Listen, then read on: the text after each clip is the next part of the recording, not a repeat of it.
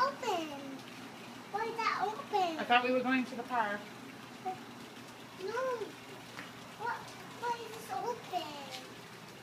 Because they have tennis going on today.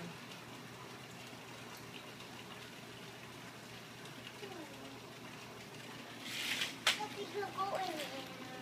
Pardon me?